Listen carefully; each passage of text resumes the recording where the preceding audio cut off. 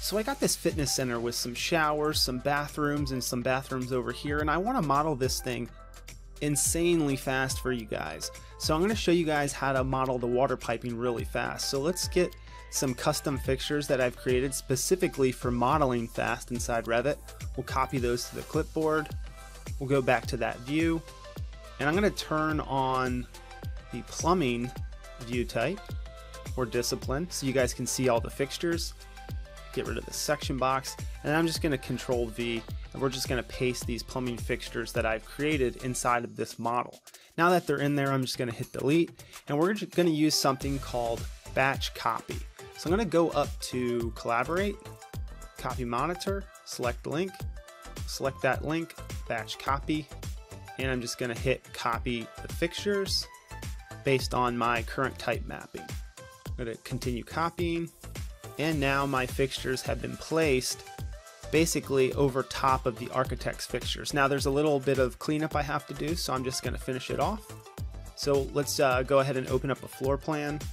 And so we need to move these water closets back.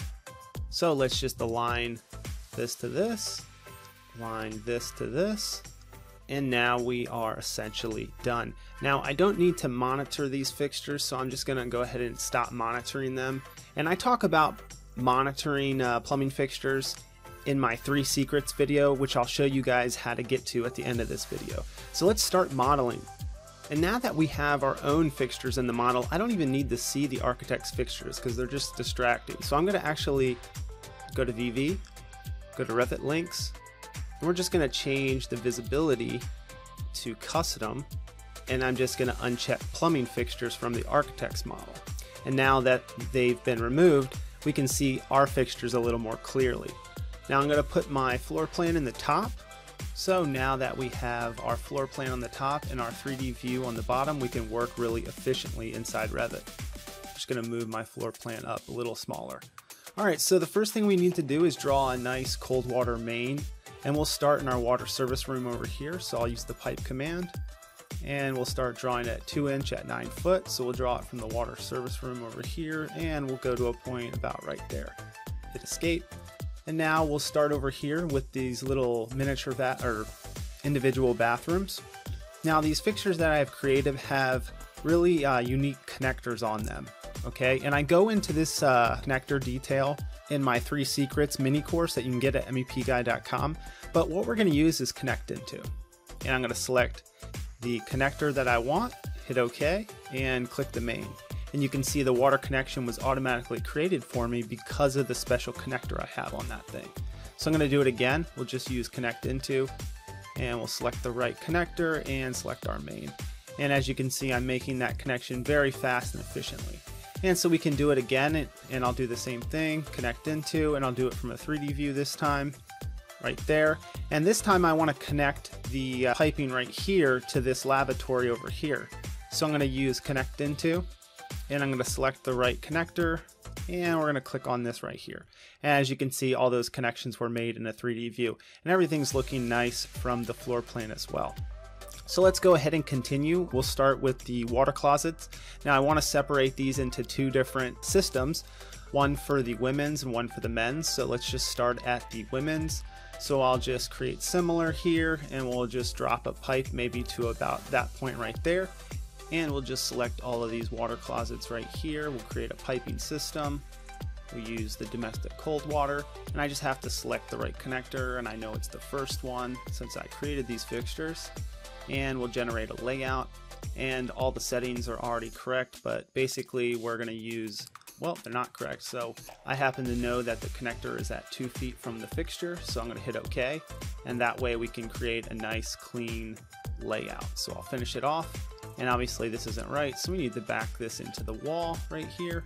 That looks good. And then from the floor plan, we can just uh, delete that piece and trim this one into this one and trim that into that. And we're done. So now um, we need to create the men's. So let's just zoom in on the men's uh, water closets and urinals right here in the main. And we can again we do this, select the plumbing fixtures, create a piping network or piping system select domestic cold water, select all the connectors we need to use, we'll generate a layout, And since we just used that layout, we can use the same one for this and it'll have the settings in there. It'll snap to the right place right there. And let's go ahead and connect these urinals. Now we can do it the old fashioned way if we want. So we can go ahead and just actually right click on this, draw pipe. And as you can see, when I start to go over here, I can just delete this, delete that right there, and we'll trim this into here. And we can use TTR to trim that into that. And now you can see I have that nice connection and I can use my connect into now in the 3D view. And we can use, again, the right connector and we'll click this one right here. And we just made that. Now we need to bring this, maybe this piece over and we'll make our main right here and we'll go up. So let's just delete this little piece right here and we'll go from a floor plan this time and so we'll just create similar right here and we'll go to a point maybe right there for now. We'll click escape we'll trim these into that. And then we need to make sure we make that connection. So we'll use the TTR and I'm using custom keyboard shortcuts in case you were noticing. I actually have these uh, shortcuts and I'll have them available on my website, mepguy.com, and I'll go over how I use them and how I set it up. So let's continue on with this little modeling fun we're having. So maybe the next thing we want to do is these lavatories right here. So let's uh, zoom out on the floor plan and let's just again, we'll create another piping network and we'll use the domestic cold water and we'll select these connectors right here. That looks good. We'll generate the layout. And again, I have it at two feet, so it makes things simple. And we can just finish the layout right there can move this piping right here. We can move it even closer into the wall if we want, maybe to a point right there. And from a floor plan, we can probably um, bring the main over here. So let's do that. We'll create similar and we'll go to a point right here, hit escape, and then we'll just delete this piece and we'll trim these together right here. And then we'll use our trim extend and trim end that into that. That looks pretty good hit escape. And since these are the same fixtures, I can actually just delete these right here and just create a new little layout over here by copying them over. Now I don't know where they are, so uh, maybe that was a bad idea, so we'll undo that. So let's just go ahead and copy them now. And we'll copy from this corner point right here. And we'll go to this point right there and then we'll make sure we select the fixtures that aren't attached to anything and we'll just delete them. So that was not the right fixture. We need to select the one that's not attached to our piping system. So if we tab into all of these, just like that, and then maybe we uh, could hide them. So let's just hide the element temporarily. Let's just delete these pieces right here, just like that. And now they're gone. So we'll just use TTR, we'll trim that to that. That looks good. And the last thing we need to model is the showers. So let's do that. We'll start at these showers over here. So let's just, again, we'll select all the showers we have here. Make sure we get this one. So we'll hold shift. Oh, sorry, hold control. Make sure we get all the fixtures. Use a piping layout, piping system. And this time we'll use the cold water connection. And as you can see, this one is the horizontal one, so I want the vertical one right here. So I need to make sure I select the second this time, just like that. Now we have this little network of piping or generate layout. And so we have to make the settings conducive to how a shower would be installed. So we have to go to settings. And this time we'll set our main and our branch to nine feet. Set that to nine, hit okay and that looks pretty good so let's just finish that thing off. And that looks good. We'll bring this over. And depending on where we want our shower main or shower supply line to be so maybe we want it right next to this piece of pipe so we can just create similar right here. And we'll just draw it to a point right there. Hit escape.